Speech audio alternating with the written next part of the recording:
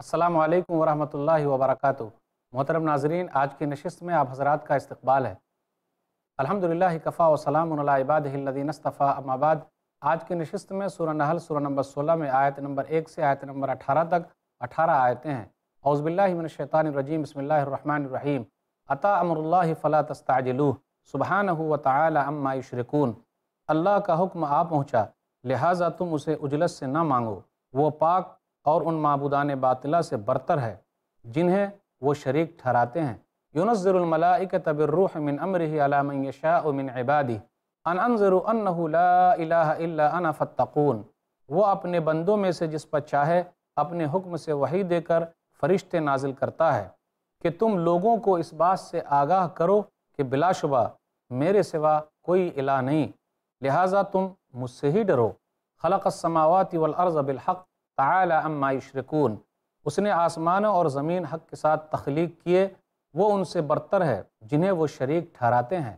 خلق الانسان من نطفت فیضا ہوا خصیم مبین۔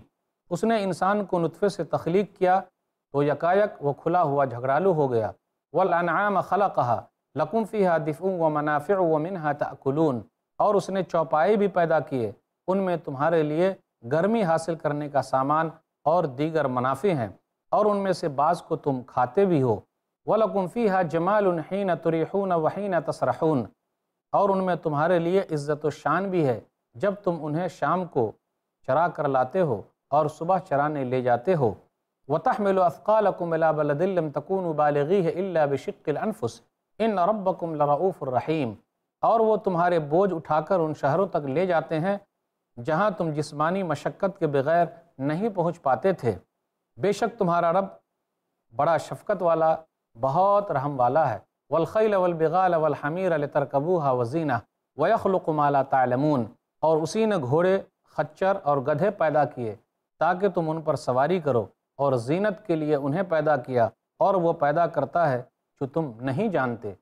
وعلى الله قصد السبيل ومنها جائر ولو شاء لهداكم اجمعین اور سیدھی راہ اللہ ہی پر جا پہنچتی ہے اور بعض راہیں ان میں سے ٹیڑھی ہیں۔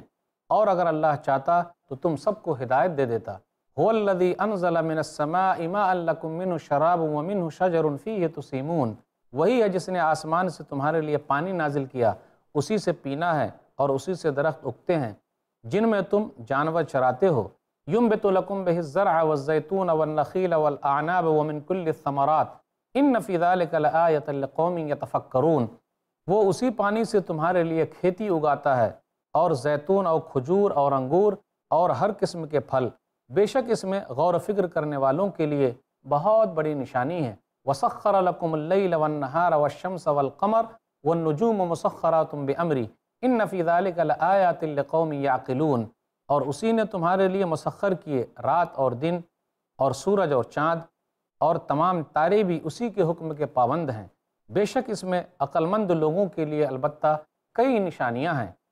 وما ذرا لکم فی الارض مختلفا الوانو ان فی ذالک لآیت لقوم یذکرون اور رنگ برنگ کی وہ چیزیں بھی تابع کر دیں جو اس یعنی اللہ نے تمہارے لیے زمین میں پیدا کیں۔ بے شک اس میں ان لوگوں کے لیے جو نصیحت پکڑتے ہیں بہت بڑی نشانی ہے۔ وَهُوَ الَّذِي سَخَّرَ الْبَحْرَ لِتَأْكُلُ مِنْهُ لَحْمًا طَرِيًّا وَتَسْتَخْرِجُ مِنْهُ حِلْيَةً تَلْبَسُونَهَا وَتَرَى الْفُلْكَ مَوَاخِرَ فِيهِ وَلِتَبْتَغُوا مِنْ فَضْلِهِ وَلَعَلَّكُمْ تَشْكُرُونَ۔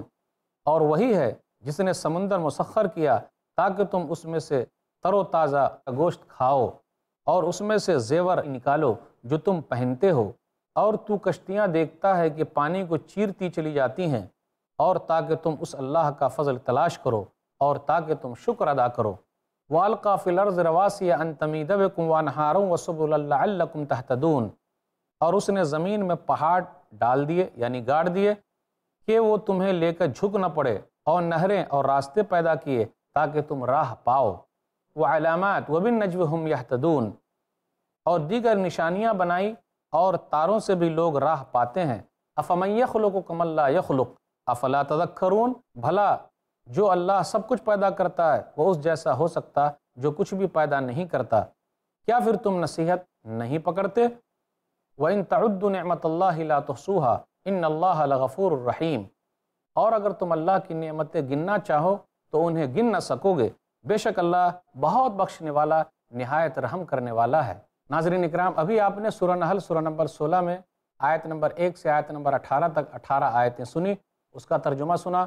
خلاصہ کچھ یوں ہے کہ اللہ تعالیٰ نے اس سورہ کو شروع کیا اور کہا، اللہ کا حکم آ پہنچا یعنی قیامت بالکل قریب ہے۔ اور ہر وہ چیز جو آنے والی ہے وہ بالکل قریب ہے۔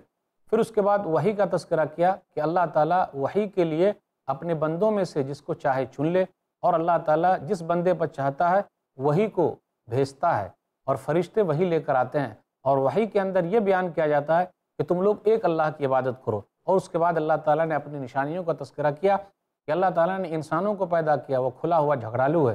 پھر اس کے بعد یہ ذکر ہوا کہ اللہ تعالیٰ نے آسمانوں اور زمین کو پیدا کیا۔ پھر اللہ تعالیٰ نے نشانیاں اس کے اندر رکھی ہیں۔ لوگوں کو چاہیے کہ غور کرے۔ پھر اس کے بعد یہ ذکر ہوا کہ اللہ تعالیٰ نے جانوروں کو پیدا کیا۔ جانوروں کے اندر بھی بڑی نشانی ہے اور جانور بڑے فائدے مند ہیں۔ کچھ جانور کھانے کے کام آتے ہیں، کچھ جانور بوجھ ڈھونے کے کام آتے ہیں، کچھ جانور زیب و زینت کے لیے ہیں۔ لوگوں کو چاہیے کہ اس پر غور کریں۔ غور کر لیں گے تو ایک اللہ کو پا لیں گے۔ پھر اسی طریقے سے کچھ جانور ایسے بھی ہیں جو ہمیں لے کے جاتے ہیں، وہاں تک ہم پہنچ نہیں سکتے۔ پھر اللہ تعالیٰ نے یہ ذکر کیا کہ اللہ تعالیٰ آسمان سے بارش نازل کرتا ہے۔ اور بارش کا فائدہ یہ ہے کہ لوگ پیتے ہیں اور اپنے درختوں کو بھی پلاتے ہیں۔ درخت بھی سیراب ہوتے ہیں، اپنی جانوروں کو بھی پلاتے ہیں۔ پھل وغیرہ اگتے ہیں، اس کے اندر بھی نشانی ہے۔ دن اور رات کا آنا جانا اس کے اندر بھی نشانی ہے۔ لوگوں کو چاہیے کہ غور کرے۔ پھر اللہ تعالیٰ نے سمندر کو لوگوں کے ماتحت کر دیا۔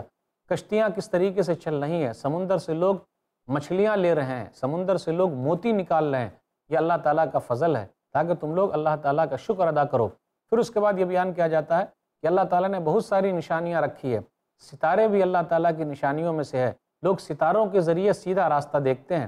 پھر اس کے بعد یہ بیان کیا گیا کہ لوگ اللہ کی نعمتوں کو گننا چاہے تو کبھی گن نہیں سکتے۔ تمام درخت جو ہیں وہ قلم بن جائیں۔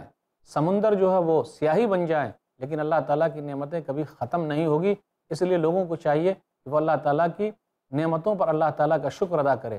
پھر یہ کہا جا رہا ہے، یہ تمام چیزیں تو اللہ نے پیدا کی ہے آسمان و زمین کا خالق اللہ ہے، سورج، چاند، ستارے سب کا خالق اللہ ہے۔ اللہ تعالیٰ نے سمندر وغیرہ بنائے ہیں۔ یہ تمام چیزوں کو اللہ نے پیدا کیا بھلا بتاؤ، کیا کوئی ہے جس کو تم پوج رہے ہو؟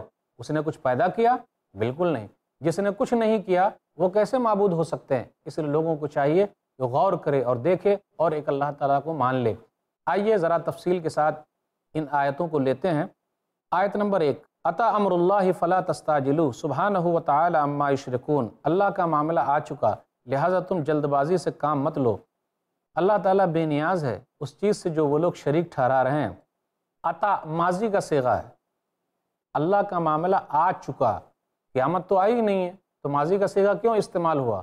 یہ ہونا چاہیے تھا کہ قیامت آنے والی ہے۔ جی نہیں، ہر وہ چیز جو آنے والی ہے بالکل قریب ہے۔ کل ما ہوا آتن فہو قریب۔ ہر وہ چیز جو آنے والی ہے بالکل قریب ہے اور اتنا یقینی امر ہے یعنی یہ چیز ہونی ہی ہونی ہے۔ اس لیے کہا گیا کہ وہ چیز ہو چکی، گویا کہ وہ معاملہ ہو چکا اس لیے ماضی کا سگا استعمال کیا گیا ہے تاکہ لوگوں کو چاہیے کہ امر یقینی ہے، قیامت کا آنا برحق ہے۔ کوئی شک نہیں ہے، گویا کہ وہ چیز ہو چکی ہے، وہ معاملہ ہو چکا ہے۔ اس لیے اللہ تعالیٰ نے ماضی کا سگا استعمال کیا۔ اس طریقے کی کئی اور آیتیں بھی ہیں، جیسے سورہ انبیاء، سورہ نمبر اکیس، آیت نمبر ایک ایک طرح سے حساب فی غفلت مرزون لوگوں کے حساب و کتاب کا وقت قریب آ چکا جبکہ لوگ غفلت میں پڑے ہوئے ہیں۔ ابھی تو آیا نہیں ہے، لیکن گویا کہ اتنا قریب ہے کہ وہ آ گیا ہے۔ سورہ قمر، سورہ نمبر چون، آیت نمبر ایک، اقتربت الساعت وانشق القمر۔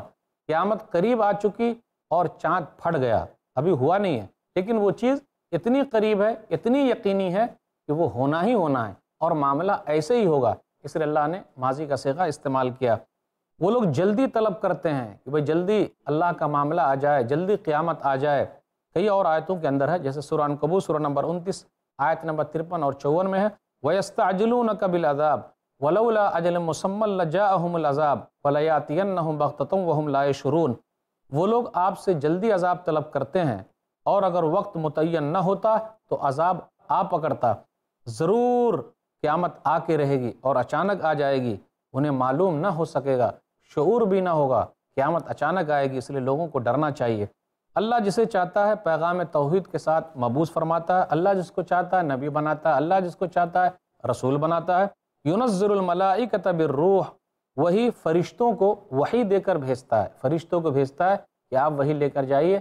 میرے فلاں بندے پر نازل کیجیے، من امر ہی علام یشاء من عبادی۔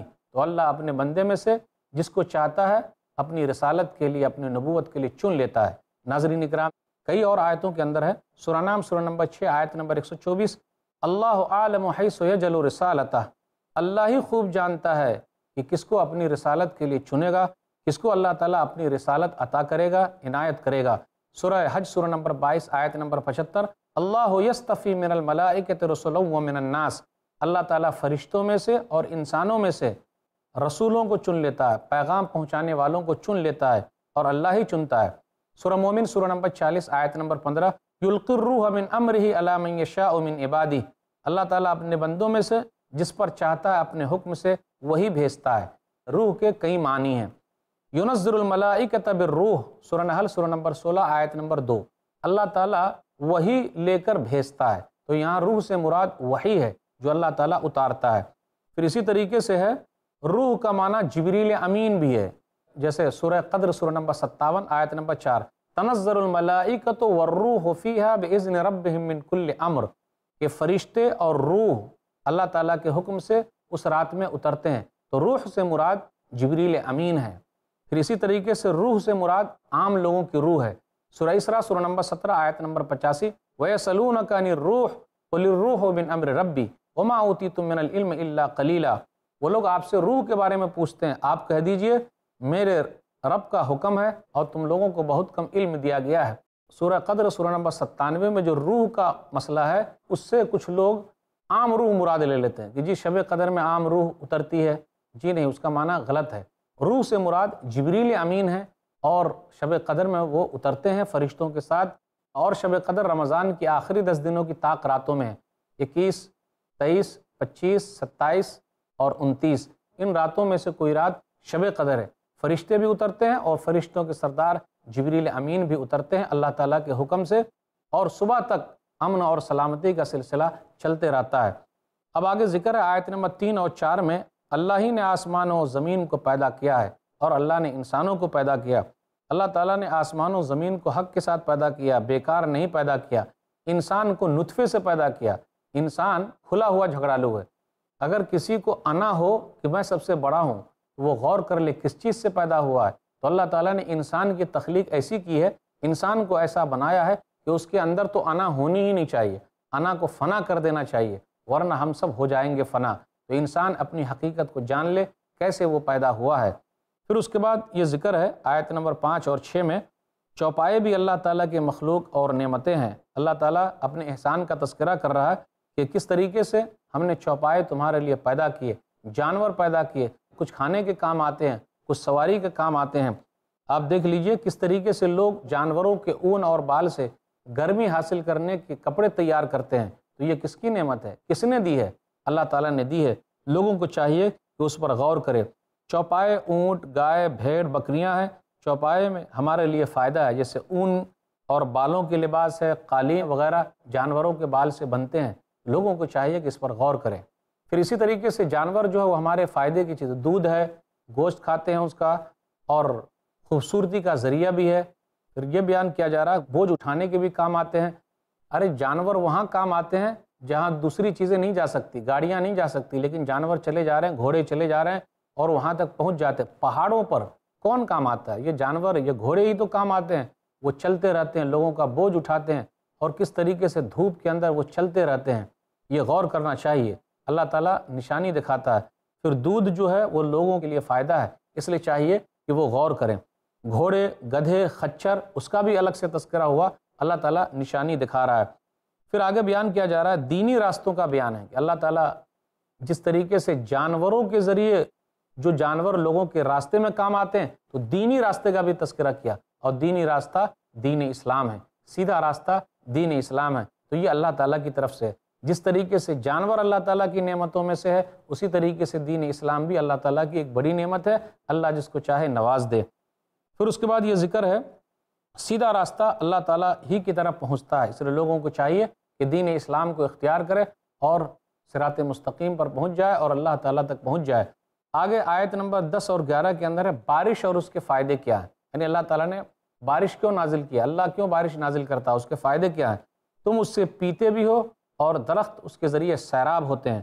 پھر درختوں کے ذریعے اللہ تعالیٰ کیا اگاتا ہے؟ کھیتی اگاتا ہے۔ زیتون ہے، کھجور ہے، انگور ہے، ہر قسم کے میوے اللہ تعالیٰ اگاتا ہے۔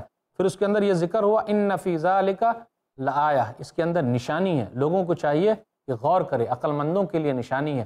غور و فکر کرنے والوں کے لیے نشانی ہے کہ وہ بارش میں غور کرے۔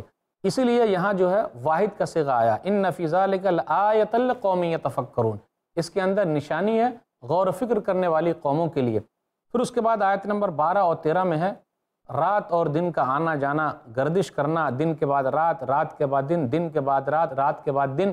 یہ سلسلہ چل رہا ہے۔ کبھی آپ نے نہیں دیکھا کہ دن کے بعد دن ہو، رات کے بعد رات ہو۔ بالکل نہیں۔ یہ اللہ تعالیٰ کا نظام ہے اور اللہ تعالیٰ چلا رہا ہے۔ سورج ہے، چاند ہے، ستارے ہیں، یہ تمام چیزیں اللہ تعالیٰ کے حکم کے تابع ہیں۔ اللہ نے ان تمام کو اپنے کام پہ لگا رکھا ہے۔ اس لیے اللہ نے کہا، ان نفیزہ لکل آیات القومی یا بے شک اس کے اندر نشانیاں ہیں عقل مندوں کے لیے۔ تو یہاں جمع کا سگا استعمال ہوا، آیات، نشانیاں، کیونکہ سورج، چاند، ستارے بہت ساری چیزیں ہیں۔ تو کیسے آپ عقل مند ہیں؟ سورج، چاند، ستارے، آسمان، زمین، سب کو آپ نے سمجھ لیا۔ لیکن آسمان و زمین کے بنانے والے کو نہیں سمجھ سکے۔ آپ کیسے عقل مند ہیں؟ اس لیے یہاں عقل کا لفظ استعمال ہوا اور جمع کا سگا استعمال ہوا کہ لوگوں کو چاہیے آسمان و زمین پر غور کرنے کے ساتھ ساتھ آسمان و زمین کے پیدا کرنے والے پر غور کرے کہ کس نے پیدا کیا۔ آسمان بغیر کھمبے کے کھڑا ہوا ہے۔ چھوٹا سا مکان ہم اور آپ بناتے ہیں تو کتنے کھمبے لگتے ہیں؟ کیا آسمان میں کوئی کھمبا ہے؟ غور و فکر کرنے کے لیے کتنی اہم چیز ہے۔ اس لیے مندوں کو چاہیے کہ غور و فکر کرے۔ پھر اس کے بعد زمین کا تذکرہ ہوا کہ اللہ تعالیٰ نے زمین کے اندر پہاڑ کو ڈال دیا گاڑ دیا ہے اور نہریں جاری کر دیے پھر اس کے بعد اللہ تعالیٰ نے راستے بھی پہاڑوں کے اندر بنائے ہیں۔ کس طریقے سے راستہ ادھر سے ادھر جا رہا ہے، یہ اللہ تعالیٰ نے کیا ہے اور لوگوں کے ماتحت کر دیا لوگوں کے فائدے کے لیے اللہ تعالیٰ نے ایسا بنایا ہے۔ نہریں جاری کر دی ہے ایک جگہ سے دوسری جگہ نہر جا رہی ہے۔ پھر وہ کس طریقے سے نہروں کے ذریعے، ندیوں کے ذریعے، نالوں کے ذریعے، سمندروں کے ذریعے اور لوگوں کو رزق مل رہا ہے۔ مختلف علاقوں سے، جنگلوں سے، صحراؤں سے گزرتے ہوئے ندیاں جا رہی ہے نالے جا رہے ہیں، سمندر جا رہے ہیں۔ لوگ اپنی کھیتیوں کو سیراب کر رہے ہیں۔ لوگ اس کے پانی سے فائدہ اٹھا رہے ہیں۔ لوگوں کو چاہیے کہ وہ غور کرے۔ اور اس کے بعد ستارے کے بارے میں آئے، علامات، راستوں کے نشانات ہیں۔ ستاروں کے ذریعے لوگ رات کے اندر اپنے نشانات ڈھونڈ رہے ہیں۔ کہاں جانا ہے؟ سمت کو ڈھونڈ رہے ہیں۔ کس طرف جانا ہے؟ اس کا پتہ کر رہے ہیں۔ تو عبادت اللہ کا حق ہے۔ یہ تمام چیزیں اللہ نے پیدا کی ہے اللہ تعالیٰ نے آسمان، زمین، ستارے سب پیدا کیے ہیں۔ اور زمین کے اندر اللہ تعالیٰ نے نہریں جاری کر دی ہیں۔ اللہ تعالیٰ کی نشانیاں بہت زیادہ ہے اللہ تعالیٰ نے یہ تمام چیزیں پیدا کیا بھلا بتاؤ، جس نے یہ چیزیں پیدا کی تو عبادت کا بھی حقدار تو وہی ہے۔ دوسرا کیسے ہو سکتا ہے؟ جس نے کوئی چیز پیدا نہیں کی۔ بھلا بتائیے، کوئی ہے جس نے آسمان کو پیدا کیا، زمین کو پیدا کیا، زمین کو بنایا، نہریں جاری کر دی؟ کوئی بھی نہیں دنیا کے اندر۔ اللہ ہی نے ایسا کیا ہے۔ تو عبادت کا بھی حقدار وہی ہے۔ اللہ تعالیٰ کی نعمتیں بے شمار ہے لوگ گننا بھی چاہیں تو گن نہیں سکتے۔ وَإِن تَعُدُّ نِعْمَةَ اللَّهِ لَا تُوسُوهَا تم اللہ تعالیٰ کی نعمتوں کو شمار کرنا چاہو تو شمار نہیں کر سکتے ہو۔ بے شک اللہ تعالیٰ بخشنے والا، رحم کرنے والا ہے۔ تو ناظرین کرام، ہمیں اور آپ کو چاہیے کہ اللہ تعالیٰ کی تمام نشانیوں پر غور کریں۔ کس طریقے سے ایک اللہ کو پالیں گے اور ایک اللہ کی بات ماننے والے ہو جائیں گے۔ اللہ تعالیٰ سے دعا ہے کہ اللہ تعالیٰ ہم لوگوں کو سیدھا راستہ دکھا دے۔ اور اللہ تعالیٰ نے جن لوگوں کو سیدھا راستہ دکھایا، اس کو آخری دم تک سیدھے راستے پر قائم رکھے۔ خاتمہ ہمارا ایمان پر کرے، آمین۔ واخر دعوانا الحمد للہ رب العالمین۔ وصلی اللہ علیہ نبینا محمد وآلہ وصحب اجمعین۔ والسلام علیکم ورحمۃ اللہ وبرکاتہ۔